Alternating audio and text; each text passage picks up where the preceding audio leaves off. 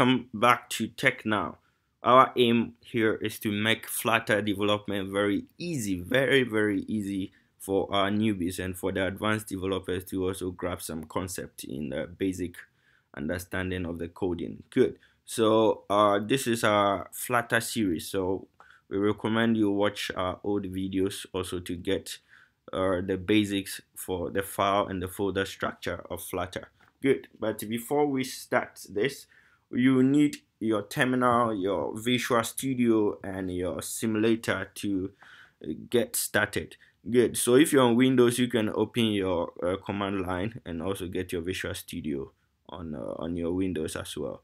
Then you can get uh, Android Studio or probably Android Studio to work on the files and also use the Android Studio emulator or you can get any other uh, simulators that you can run on Windows so that you can use with the Visual Studio. Good, let's get started. So uh, before we start, let me clear my terminal. Yeah, I think it's messy. Okay, good. So I have already cd into my Visual Studio Code. I have a folder I have created where I create my my sample project. So let's use the flutter command to create a, a project. Great. So create create let's say second second app. The second app is the name of the project. Second app is the name of the project. Flutter create second app. I press enter and then it creates the project for me. So it's actually uh, creating all the files and the folders we need to work with. Good. So good. So it is now set to start with the project. I now open my Visual Studio. Yeah, I have I have expanded the view. Let me open the files here.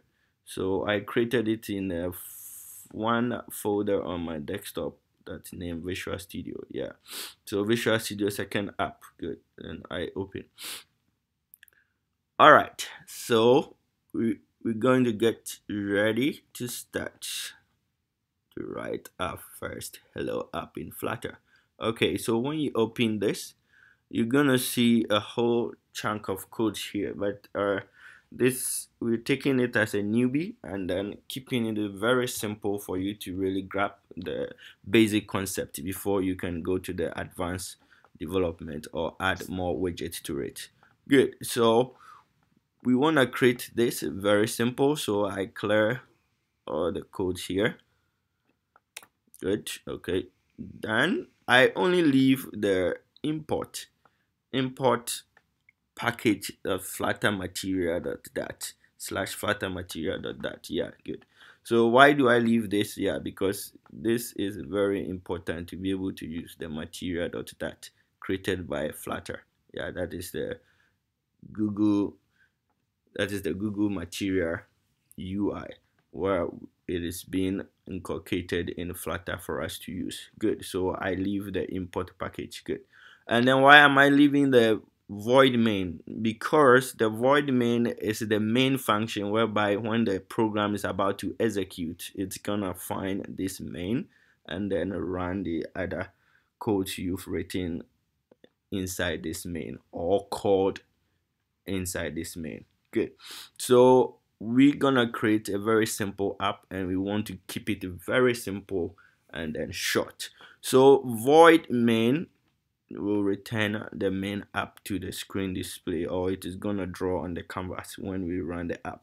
Good so we I left the run app the run app here. The run app here is a function or a class inside the flutter where we're gonna call it in order to help run the code. But here we can basically use the material app.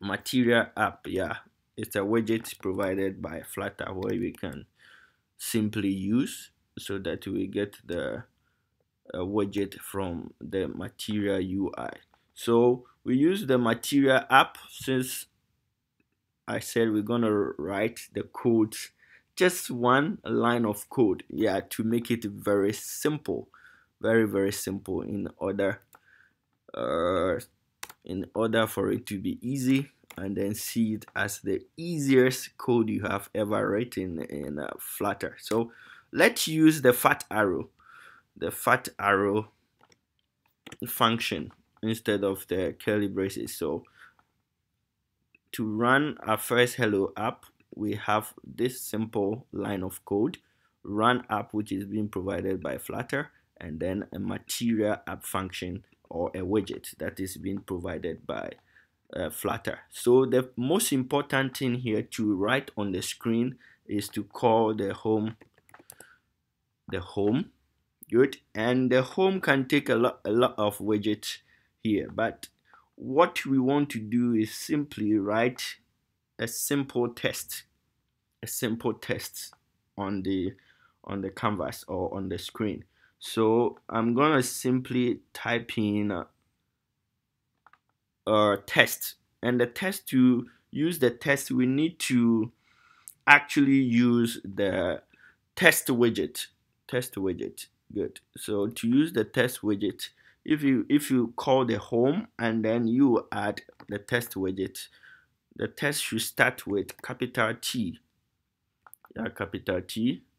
And then you have your string inside the open and close braces. So let's type hello hello world yeah.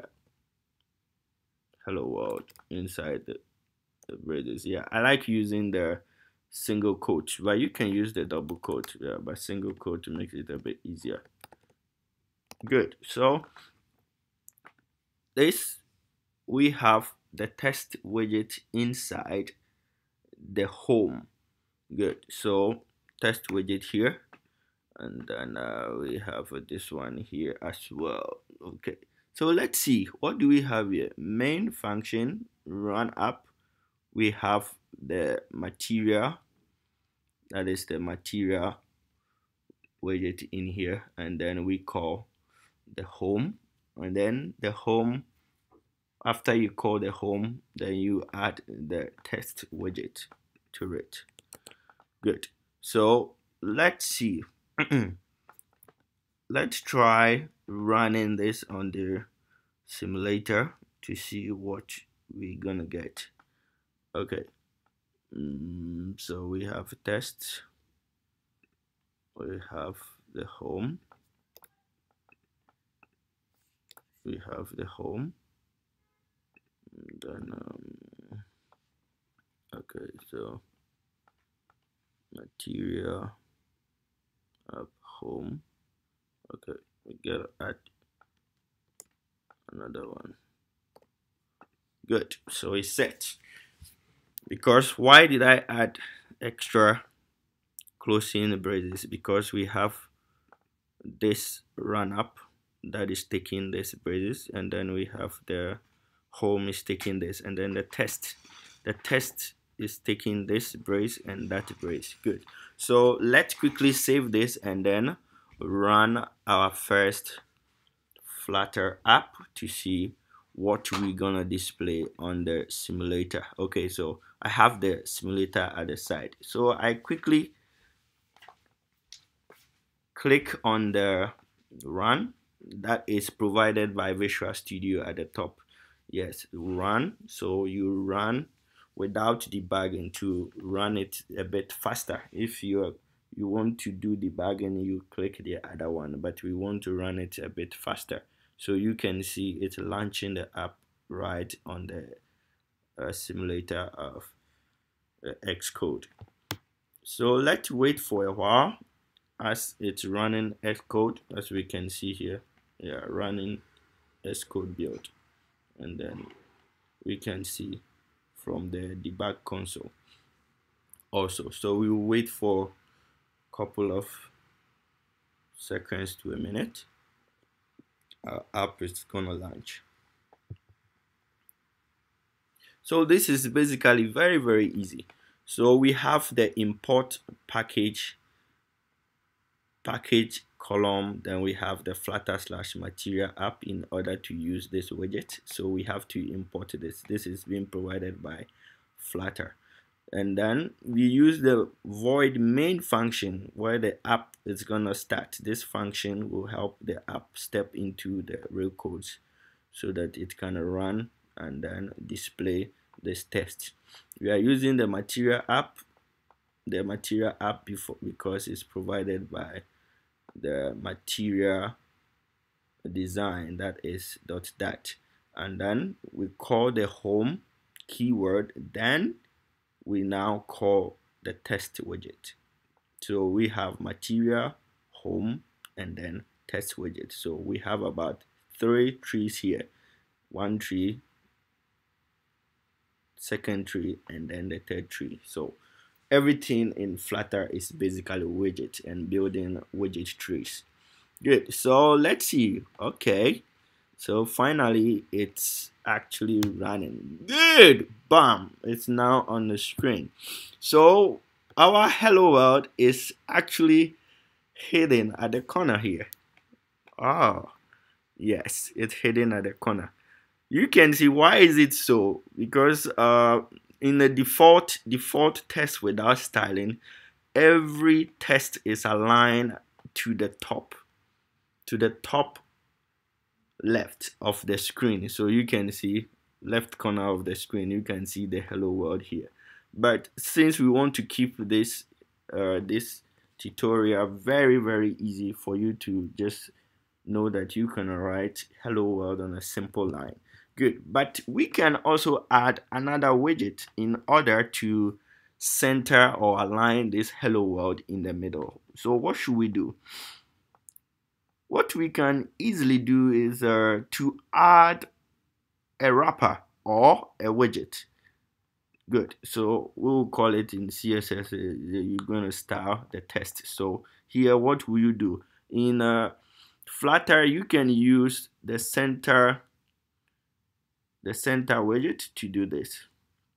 So let me call this center center. Okay so center also need to have open and close bracket open and close bracket for center.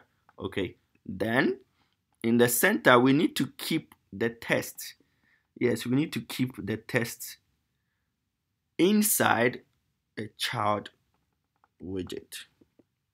So the test is going to be the child of the of the center.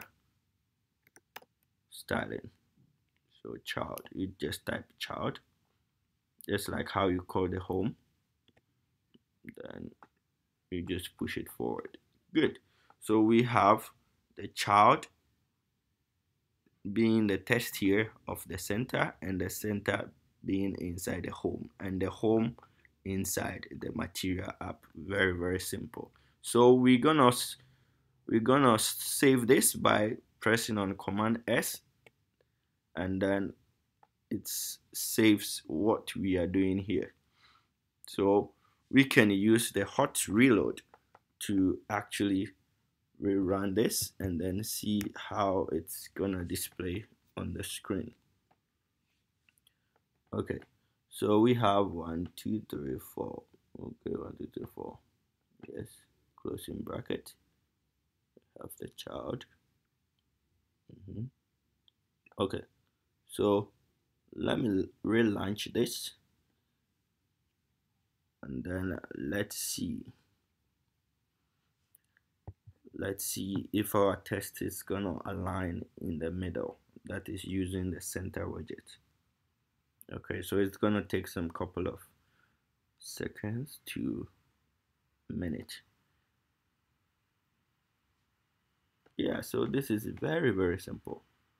Void main using the run-app class that is provided by Flutter. And so we call the open and close braces just like a function. And then we call the material app widget inside we call the home keyword then we call the center. Then in the center it will align the test. Then in the center we need to have the test being the child of the child being being an inside widget of the center. And then the child will be the test that is hello world. Okay so let's see. It's almost ready on the simulator. Good boom so we now have our hello world displayed right in the center of of the simulator. Good. So this is basically what we wanted to do today and to help you out there understand the simple coding structure of flutter. Good. Try and watch our other videos and then we'll make sure we'll provide more content and also make it very simple for you to simply learn how to run and code flutter apps. If if you like this video kindly give a thumbs up and also subscribe to our other videos. Subscribe and then turn on the notification to watch our other videos. Peace. I'm out